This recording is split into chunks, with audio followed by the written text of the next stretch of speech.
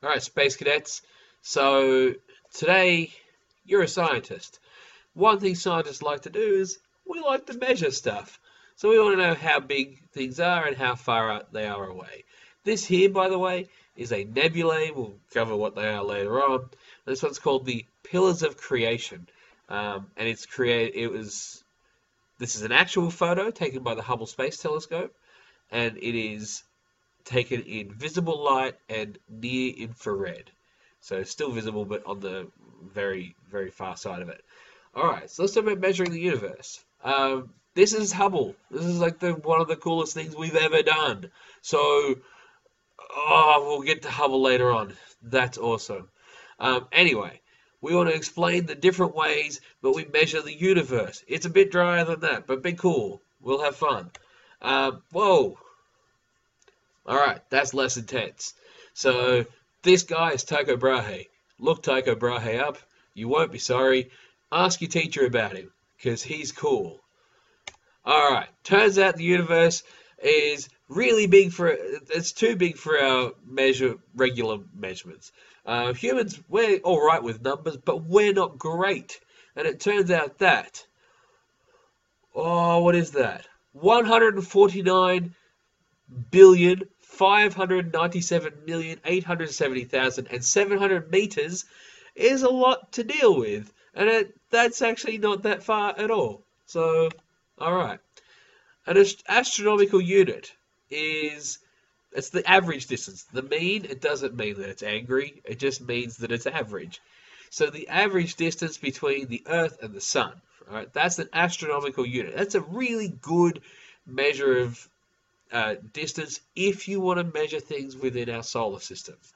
So the International Astronomical Union, so defi- defined by all the different scientists hanging out together, probably in Brussels or Prague or somewhere nice, um, is 149 billion 597 870,000 and 700 meters approximately. So approximately one astronomical unit, AU, is 150 million kilometers. That's a lot, because a billion is a thousand million. That's 150 million kilometers. This, the first useful measurement of this, and he was off by a solid, um, I don't know, factor of 10, is was done by Tycho Brahe. Um, again, be super rad. Ask your teacher. Um, light year. This is another measurement we use. It's the distance that light or a photon of light will travel in a year in a vacuum. And that's crazy town. That's a really big distance. It is one, it, oh, it's 9.5 trillion kilometers. That's a big distance. But again, there's not that a light year is not that far away in space. So 9.5 times 10 to the 15 meters, that will do for you, um, is one light year, and it's really useful for measuring things outside of our solar system. For example, the sun is roughly 8 light minutes away, but the nearest star is light years. That's plural. Um, so light years is really useful for that. Um, that's big. But then we have the parsec. Now the parsec is interesting because it was worked out in a different way. It was worked out using something called parallax, and it's actually very, very, very accurate once you know what an astronomical unit is. Uh-huh. Um, and it is 3.26 light years, so it's even bigger. Now, we could use parsecs to measure the distance of our galaxy. So these are big numbers. The universe is really, really, really big. All right. So what's parallax? Basically, this is how we worked out what a parsec is. And a parsec is the most useful measure of distance.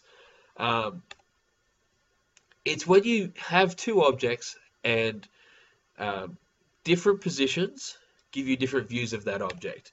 Um, a very a quick example of this is if you put your finger in front of your face and you close one eye and then open it, then close it, then open the other, and it looks like your finger's moving.